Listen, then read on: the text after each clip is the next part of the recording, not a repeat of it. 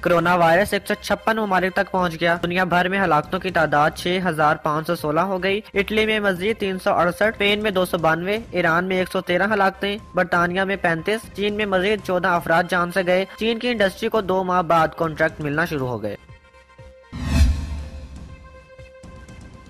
امریکہ میں ہلاکتیں انہتر ہو گئیں۔ پینتیس سو سے زائد متاثر۔ میئر نیو یارک نے تمام سکول بیس اپریل تک بند کر دیے۔ نیو یارک میں ریسٹورنٹ کے اندر کھانے پر بھی پابندی لگا دی گئی۔ امریکہ نے متاثرہ یورپی ملکوں سے پروازیں بند کر دی امریکی ایئرپورٹس پر مسافروں کی سکریننگ کے دوران افراتفری۔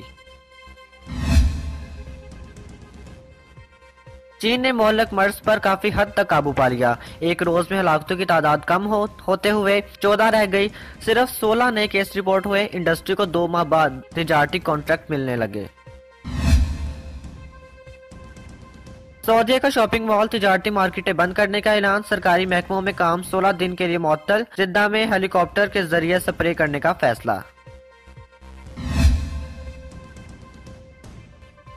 یورپی ملکوں کا مزید سخت اقدامات کرنے کا اعلان۔ جرمنی نے فرانس، آسٹریلیا، سوئٹزرلینڈ کے ساتھ سرحد بند کر دی۔ فرانس نے جرمنی کی سرحد پر چیکنگ مزید سخت کر دی۔ پولینڈ اور ڈینمارک کی سرحد جزوی بند۔ جمہوریہ چیک میں سب کو کرنٹینہ میں رکھا جائے گا۔ منیلا کو بند کر دیا گیا۔ سڑکوں پر فوج تعینات۔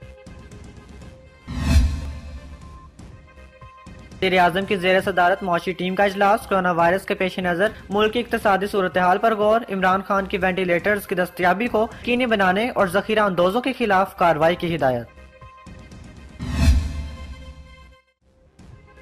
حکومت آئی ایم ایف سے اہم رعایت حاصل کرنے میں کامیاب، کرونا پر اٹھنے والے اخراجات مالی خزانے میں شامل نہیں ہوں گے۔ عالمی مالیاتی ادارے نے رضامندی ظاہر کر دی۔ ایسے حکمت عملی بنائی جائے گی کہ معاشی سرگرمیاں متاثر نہ ہوں مشیر خزانہ۔